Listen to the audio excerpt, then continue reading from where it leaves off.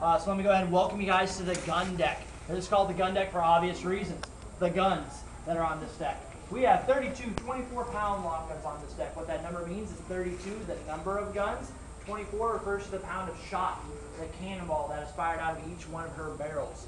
Each one of these guns has a range of about 1,200 yards. At 500 yards, you can penetrate the hull of an enemy up to two foot thick. But as noted in the Age of Sail, most battles took place at 50 yards or less. Half a football field away, that's how close we would have been. Each one of these guns off, off the carriage, which means just the black part, weighs 5,800 pounds. On the carriage, meaning the red part, the ropes and everything included, weighs 6,500 pounds, which is the equivalent basically to a Ford Explorer. So if you guys can imagine, we're basically standing in a small parking garage. We're surrounded by 32 Ford Explorers. That's pretty much what's going on.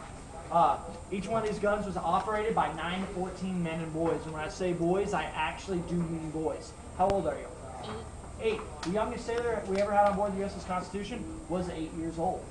But all the money he would make would go right back home to mom and dad. So if you guys want to sign him up, we got Sign paperwork upstairs. We'll be giving tours next week. Sound like a plan? He's shaking his head. All right. But all jokes aside, we've got 9 to 14 men and boys per gun, 32 guns. How many sailors do you think we have on board grand total? 190. 192. That's a good guess, but a little bit more than that. A little more than that, Brian. Anyone got a guess? Oh, that. 600. That's a good guess. 450 to 500 men served on board the USS Constitution. Now, out of those 450 to 500 men, how many of those men do you think were cooks? 100. One. You say? One.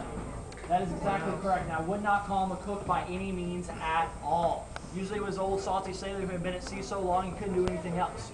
Sometimes he was a young spry pup who had been injured in battle. Either way, the guys had outlived their usefulness, so the Navy gave them some food to see what it could come up with. So it would have been a very unique taste, to say the least. During the age of sail, we didn't have refrigerators, we didn't have freezers, so there's a couple options of what we could do to preserve our food for long deployments, for long underways. We could pickle, salt, or dry our food. Most common on board the USS Constitution would be heavily salting our food. This barrel right behind you guys, that barrel right there, that is called the steep tub. Now the heavily salted beef, cod, pork, whatever we had, was brought up the day prior to consumption, placed in that tub along with fresh water.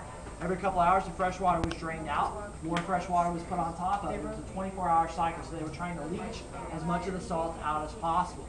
Granted, they couldn't get 100% of the salt out, but any amount of salt out is better than 100% of the salt in, so that's what they were going for. In addition to that, sailors were given rice. They were given beans. They were given various vegetables, fresh fruit and we made pork calls, uh, a stew. And they were also given a thing called ship's bread. Now, this wasn't store-bought bread. This wasn't mom's homemade, kind of burn around the edges, but you're still going to eat it because mom made it with love bread. This was, uh, easiest way to describe it was the consistency of a hockey puck. It was double baked and without yeast. meaning it was flour and water only, and it was thrown in the ship's caboose. Uh, speaking of, I didn't touch on the caboose, did I? Nope. Okay, the ship's caboose. I do apologize for that. That's the ship's caboose. That was where the food was cooked. That's where the cannonballs were heated up for engagement, so they fit better in the bore of the gun. Uh, that's where the sailors were allowed to smoke, and that's where the ship's armor would do blacksmith work. But that's where the ship's bread was made. It was flour and water only, and it was thrown in that guy twice for way too long each time. Now they wanted it hard like a hockey puck, hard like wood, so that way the rats cannot get into it. They would break their teeth. So that with the bugs, the weevils, cannot get into it. So it would preserve for long deployments. Neat thing, the museum actually has on display over at the Constitution Museum ship's bread that's left over from the Civil War. And it's in the exact same state it was when we originally made it, which is kind of cool. So now we have this bread that's so hard, the sailors can't even get into it without breaking their teeth. How are they going to eat it? Well, the sailors should actually wrap it in their neckerchief. Beat it on the overhead, beat it on the deck, beat it on one of those long guns so they could break it down into small enough pieces. And they would put it in their stew they get it soft enough they'd actually be able to chew it without breaking their teeth.